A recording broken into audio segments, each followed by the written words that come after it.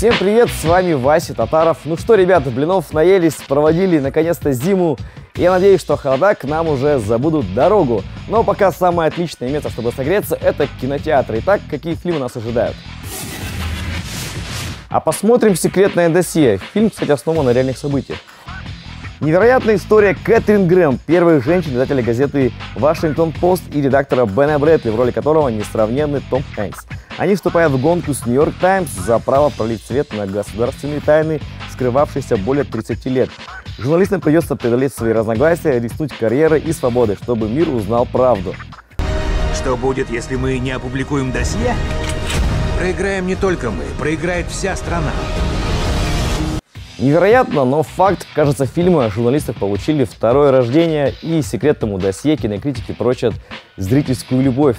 Ну не знаю, поживем увидим, но посмотреть его каждому стоит. А вы бы хотели все деньги мира? Вопрос, конечно, риторический. Но именно так называется следующая кинопремьера. На рубеже 70-х годов в Риме похитители в масках крадут внука Жана Пола Гетти, крупного нефтяника и невероятного скупца. Дедуля отказывается платить выкуп, поэтому матери пропавшего юна Гейл остается упаковать только на агента службы безопасности Флетчера Чейса. Кстати, в ее роли Марк Уолберг. Мистер Гетти! Мистер Гетти, требуют 17 миллионов. Сколько вы готовы заплатить за освобождение внука? Не цента. Криминальный триллер Ридли Скотта прославился еще до премьеры. Режиссер вырезал все сцены с Кевином Спейси из-за сексуального скандала и переснял их с Кристофером Пламером. А российское кино продолжает раскрывать мужские тайны. О чем и говорят мужчины 3. Продолжение. Точнее, продолжение. Выходит на экран уже на этой неделе. На этот раз Леша, Слава, Камиль и Саша едут в Питер. Причем трое из четырех даже не знают, зачем они туда едут. Но в какой-то момент становится понятно, что не важно зачем, важно, что просто едут. Восьмой фильм «Квартета И» и третья часть «О чем говорят мужчины». Уже без былого задора главные герои, как и фильм, выглядят уставшими, а шутят какими-то вымученными.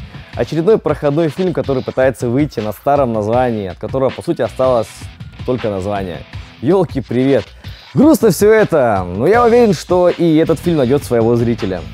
Вот кто бы мог такую красоту описать? Мне кажется, только Пушкин. Ох, ты ж ни хера ж себе. Мандула раздвижная. Мандула. И еще одна наша российская новинка называется «Рубеж». В главной роли Павел Прилучный. Девчонки вперед за билетами. Достаточно циничный, чтобы с ним прикрутилась какая-то либо история. Бизнесмен Михаил Шуров попадает в центр темпоральной аномалии и начинает как зайчик скакать по времени.